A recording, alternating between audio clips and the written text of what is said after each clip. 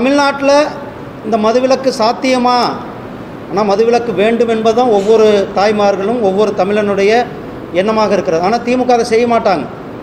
அதனால தான் நான் சொன்னேன் இது ஒரு ட்ராமா. மக்களை ஏமாற்றுவதற்கான ட்ராமா. ரெண்டாயிரத்தி இருபத்தி ஒன்று தேர்தல் அறிக்கையில் அவர்கள் என்ன சொன்னாங்க? படிப்படியாக டாஸ்மாக் கடைகளை குறைப்போம்னு சொன்னாங்க.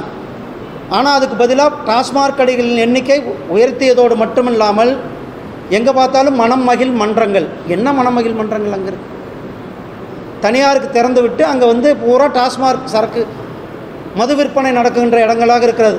நம்ம விருதுநகரில் மூளைக்கு மூளை மணமகிழ் மன்றம். டா நீங்கள் ஒரு கிராமத்தில் பள்ளிக்கூடம் இல்லை அங்கன்வாடி இல்லை ஒரு மருத்துவ என்ன சுகாதார நிலையம் இல்லை. ஆனால் டாஸ்மாக் கடை இருக்கிறது. இந்த டாஸ்மாக் கடைக்கு